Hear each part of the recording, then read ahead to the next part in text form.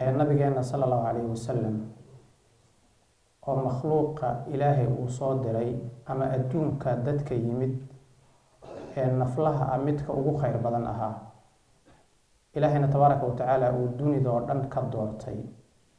Adduunkana alla uu keenay xilli xilliyada ka mid ah oo adduunku uu ku sugnaa mugdi iyo madow dulmi iyo gardarro xadgudub iyo cadaalad darro shirki iyo gaalnimo dadkoo isyasaya ayaga oo qashinka cuna ayaga oo carabtu gaar ahaan xilliga ayada ah ilmahooda iyo gabdhahooda ayagoo nool nool ay nolosha ku duugaan nabi maxamed sala allahu caleyhi wasalam uu ilaahay soo diray.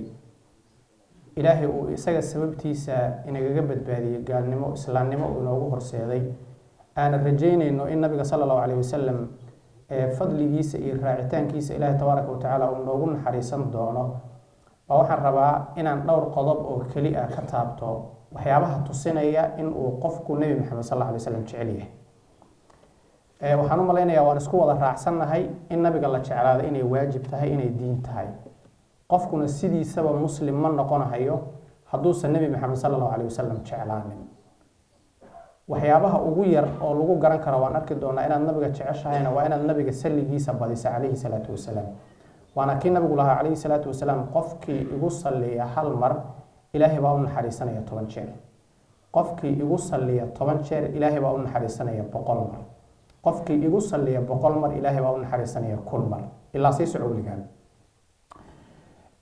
Waxaa la jirta qiso inta badan la soo qaato oo soomaaliduna ay sheegato carabtuna ay sheegtaan oo gabadh leyle la dhihi jiray oo raggoo dhan ay dhahaan waan wada jecel lahay markaasaa gabay baa nin carbeed wuxuu yidhi kullun yaddaci waslan bileyla waleyla laa tuqirhu bidaaka oo macnaheedu ay tahay qof walba wuxuu sheeganayaa inuu gabadha leyle ah jecel yahay laakiin leyle ayadu raggoo dhan mayna wada aqoonsanin inay jeceshahay. Hal ninun bay ka jeceshahay isagaas maxaan u socdaa? Qof walba wuxuu sheeganayaa nabiga sala allahu caleyhi wasalam kalgacaylkiisa laakiin cidda nabi maxamed calayhi salaatu wasalaam jecel calaamadahan soo socda baa lagu gartaa. Haddii calaamadaha lagaa helo lix calaamadood baan ka sheegi doonaa nabiga waad jeceshahay sala allahu caleyhi wasalam haddii lagaa waayo sheegasho ayaad iskaga sugan tahay aan xaqiiqo ahayn. Hadalka waan dhexgelayaa maadaama waqti aan haysanin anigoo hordhac badan aan samaynin. Qodobka koowaad ee nabiga sala allahu caleyhi wasalam inuu qofku jecel yahay lagu garto waxaa ka mid ah qofku wuxuu ixtiraamaa qur'aanka iyo sunnada nabiga sala allahu caleyhi wasalam buu ixtiraamaa. Qur'aanka iyo sunnada nabiga sala allahu caleyhi wasalam buu ixtiraamaa.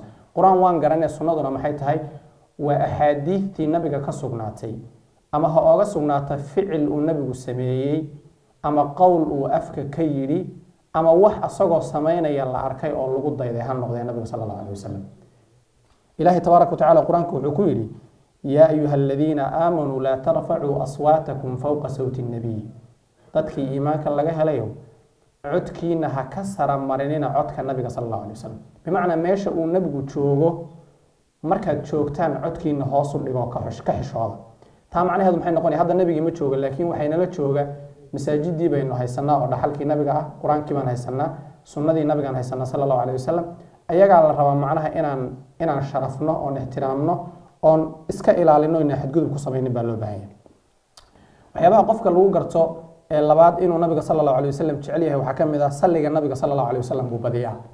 Salliga nabigu badiyaa macnaheedu ma aha oo keliya markii la soo hadal qaadee lagugu sheegay inaad nabiga ku sallido. Adigu adigoo gurigaaga iska jooga ama shaqadaada iskaga jira ama magaalada iska jooga wax iska baranahaya imisa goor ama imisa mar baad maalintii nabiga ku sallidaa sala allahu alay wasalam ilahi wuxuu lehay in allaha wamalaa'ikatahu yusalluuna cala nabiy. Yaa ayuha aladiina aamanuu salluu calayhi wasallimuu tasliiman. Oo macnaheedu ay tahay ilaahay iyo malaa'igtiisu waxay ku salliyaan nabi maxamed sala allahu caleyhi wasalam saa daraaddeed kuwii iimaanka laga helayow idinkuna nabiga ku salliya calayhi salaatu wasalaam imise mar baad marka nabiga ku sallida. Haddii aad dib isu weydiino wiigii la soo dhaafay intaad fadhiisatay ama adigoo socdaba qasab ma ahaane shaqadaada ku jira waxbarashadaada ku jira nabiga ma xusuusatay sala allahu caleyhi wasalam oo ma ku salliday waa calaamadaha lagu garto inuu qofku nabi maxamed calayhi salaatu wasalaam uu jecel yahay. Waxaana nabiga laga wariyey inuu yidhi qofka bakhaylka ama idiin sheegaa haabaa la yidhi rasuulka ilahi noo sheeg wuxuu nabigu sal ly slam bakhaylku waa qofkii agtiisa la igu xusay een igu sallinin buu yidhi nabigu calayhi salaatu wasalaam. Kaasaa waxaa la dhahaa bakhayl qodobka saddexaad oo tusinaya qofku inuu nebi maxamed jecel yahay calayhi salaatu wasalaam waxaa ka mid ah diinta iyo sunnada ayuu difaacaa. Diinta fiiri noocay noqonayso. Sibuu nabigu u labisan jiray garhka u daysan jiray qur'aanka u akhrin jiray salaada u tukan jiray dadka ula dhaqmi jiray qaabkii uu nabigu samayn jiray diintu ay sheegtay buu qofku difaacaa. Qofkaas diinta garabka u ah ee difaacaya waxay calaamad u tahay inuu nebi maxamed sala allahu calayhi wasalam uu jecel yahay. Qur'aanka alle wuxuu ku yidhi suurat lxashri lilfuqaraai almuhaajiriina aladiina ukhrijuu min diyaarihim wa amwaalihim yabtaguuna fadla min allahi waridwaana wayansuruuna allaha warasuulah ulaaika hum saadiquun. U fiirso qoladii faqarada ahayd ama aan xoolaha haysanin ee danleyda ahayd guryahoodii baa laga saaray iyo xoolahoodii. Oo way ka hijroodeen. Sababta looga saarayna waxay ahayd ilaahay fadligiisay raadinayeen nebi maxamed bay difaacahayeen way u hiilinahayeen ilaahayna wuu ogyahay kuwaasi inay kuwa runta sheegaya yihiin. Saa daraaddeed qofka diinta difaace ee garab istaaga markaad aragto culimada wax laga sheegi qur'aanka wax laga sheegaya dad badan baa hadda soo baxay oo diinlaawayaal ah.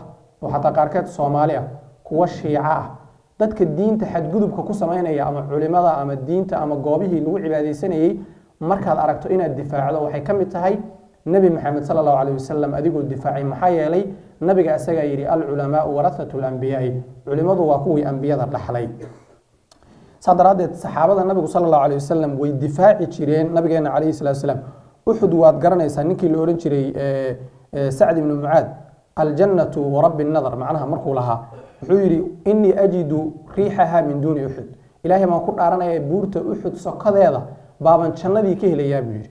Saa daraaddeed waa kii la dili jiray anas ibnu nadar walaalkii la googooyey ilaa uu jidhkiisii la garan waayo oo markii dambe gabadh walaashii ay garatay asagoo farihiisa ay garatay keliya muhiimaddu maxay ahayd? Nabigu difaacayay sala allahu calayhi wasalam marka diinta iyo sunnada qofku inuu difaacoba waxaa lagu gartaa inuu nabigeena sala allahu calayhi wasalam uu jecel yahay waxyaabaha lagu garto inuu qofku nabiga jecel yahay waxaa ka mid a tasdiiquhu fima akhbara. Hadalkii uu nabigu sheegay buu rumeeyaa. Waxyaabaha dadka kale ay sheegayaan ma rumaystee? Hadalka nebi maxamed baa yidhi soo ma aha. Asagaa ifaray oo wuxuu yidhi nabigu sidan ha loo socdo timaha sidan ha loo jarto dadka timaha si u jarta garhka ha la daysto salaada saan ha loo tukado been yaan la sheegin dadka yaan la xamanin waxaa ha laga fogaado. Nabigaa yidhi soo maaha waa run waan ku dhaqmaynaa waan rumaysanaynaa waan qaadanaynaa marka nabiga sala allahu alayh wasalam wixii uu sheegay inaan say tahay u qaadano. Ilahi wuxuu yidhi wannajmi idaa hawaa maa dalla saaxibukum wamaa gawaa wamaa yantiqu cani ilhawa in huwa ilaa waxyun yuuxaa macnaha macnaheedu maxay tahay in huwa ilaa waxyun yuuxaa wuxuu nabigu sheegayo waa un waxyi ilaahay tabaaraka wa tacaala uu u sheegay. Allana wuxuu yidhi laqad kaana lakum fii rasuuli illaahi uswatun xasana. Ana qodobka shanaad ee lagu garto qofku oo muhiimka ah weliba haddana aan rabo munaasabadayda inaan wax yar xidhiidh oola sameeyo waxaa lagu gartaa qofku inuu nabiga jecel yahay nabiga ayuu raacaa dhaqankiisii wuxuu sameeyey buu sameeyaa. Waxaan rabaa inaan idinka qarinin in hadda munaasabad mawliid lagu jiro.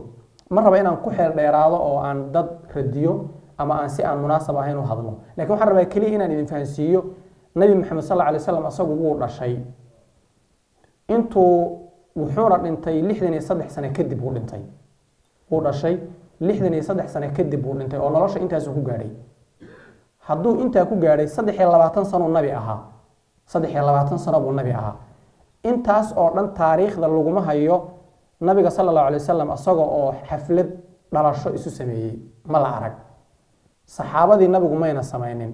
Abubakar oo nabiga saaxiibkii ahaa wasiiraahu uma cithmaanu arjaxu gabaygii siduu ahaa abubakar iyo cumar oo labadii garabka u ahaa weliba dee qaraabana ay ahaayeenoo gabdhihii nabiga sala allahu alay wasalam maxaan ku idhahdaa midna nabigu uu gabadh ka guursado caaisha radi allahu canha asaguna nabigu uu gabadh uu ka guursaday oo cumar ahaayo xafso waa kii nabigu guursaday sala allahu alay wasalam oo dhinacna saaxiibadii ahaa dhinacna saxaabadiisii ahaa mayna samaynin. Saxaabadii nabiga o dhan ma samaynin. Culimadii muslimiinta ee ka dambeysay oo imaamu shaafici iyo abu xaniife iyo maalik iyo axmed ibni xambal iyo ma samaynin cusuurtii dhexe ma samaynin. Marka haddii oo uu ahaan lahaa wax jira maalan oo ilaahay loogu dhowaado waxaa samayn lahaa nabigeenna waxaa samayn lahaa saxaabada waxaa samayn lahaa culimadii muslimiinta ee ka dambeysay madhab ahaan xataa aan u abtirsano. Nabiga marka xataa xilliguu dhashay layskuma waafaqsano.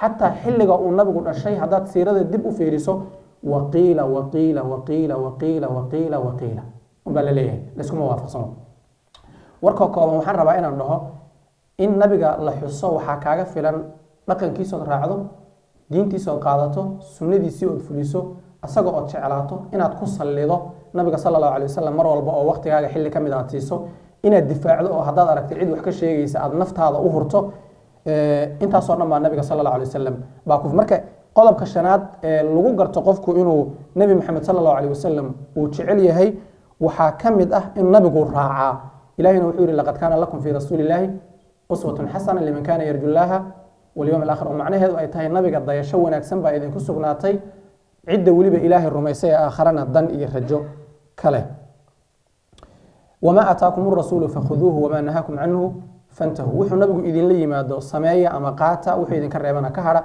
saa darteed wuxuuna nabigu la imanin in la sameeyo sax ma aha meel kale alla tabaaraka watacala wuxuu ku leeyay suuratu nisa man yutic rasuula faqad ataaca allah qofkii nabiga ateeca ilahay buu ateecay tabaaraka watacaala ilahay tabaaraka watacaala wuxuu aayad kale ku leeyahy suuratu nisa isla suuratu nisa ya ayuha aladiina aamanuu atiicu llaha waatiicuu rasuula wauli lamri minkum fain tanazactum fi shayin faruduuhu ila llahi warasuul u fiirso kuwii iimaanka laga helay oo ilaahay rasuulka ateeca haddii aad arrin isku qabataan oo dood idin dhex marto shay shayga nakirada luuqada carabiga waxaa lagu dhahaa waxay faaideysaa cumuum macnaha xagga usuulka iyo naxwada marka laga hadlaya labadaba haddaad shay isku qabataan oo dood idin dhex marto ilaahay iyo rasuulka u celiya. Macnaha kitaabka qur'aanka ka fiiriya sunnada nabiga sal alay slam ka fiiriya waa haddaad dad iimaan leh oo alla tabaaraka watacaala ka cabsanahaya qodobka lixaad oo maxaan ku idhaahdaa nabiga kalgacaylkiisa lagu garto inuu qofku aaminsan yahay waxa weeye xugun iyo sharci markuu yimaado ee dood dadka ay dhex marto kitaabka alle iyo sunnada nabiga in loo laabtaa la rabaa. Haddaad dhahda nabigaan jeclahay markaad wax isku qabataanna xeerka aada u laabato qoyska. Haddaad dhahda nabigaan jeclahay. Markaad wax isku qabataanna doodaadu ay noqoto qabiil hebel baana kala bixinayo oo dhaqan baan lahaan jiray oo noo soo jiri jiray oo beri baa annaga nin noocaana lagaga sameeyey oo gabadh baa sidaa ahayd oo ree hebel baa saa sameeyey annaguna sidii baan samaynaynaa. Micnaheedu waxay ka dhigan tahay waxaad garab martay nebi maxamed sala allahu calay wasalam sunnadiisii iyo kitaabkii alle uu nebi maxamed ku soo dejiyey. Siduu ahabaad garab martay jacaylka aad sheeganaysana sax ma aha markaan soo ururiya hadalkayga nabiga sala allahu calayhi wasalam in aad jeceshahay waxaa daliil u ah inaad sunnadiisa qaadatood raacdo. Wuxuu asagu sameeyey inaad samayso siduu u sameeyeyna u samayso. Wuxuu asagu ka hadhay nabiga sal alay slam uu ka tegayna inaad iska dayso. Wax uuna samayninna inaada diinta ku soo darin. Wixii adduunyadeenna nabigu wuxuu yidhi antum aclamu bidunyaakum u fiirso adduunyadiina saad oola dhaqmaysaan idinkaa garanaya buu yidhi. Laguma diido. Waxaad rabta samee shaqada inay xalaal tahay baa muhiima soo shaqayso ee maskaxdaada ka shaqaysi wax isku xidhxidh laguma diidano. Cibaado hadday noqoto ilaahay loogu dhowaanayo cibaadadu weligeed bay soo jirtay ee wax lagu soo kordhinaya ma lehe. Waa in sidii nabigu uu u samayn jiray loo sameeyo sala allahu calayh wasalam intaasaan dhihi lahaa inaan idinla wadaago waan ogahay waqtiga igu yara hadalka waan boobsiiyey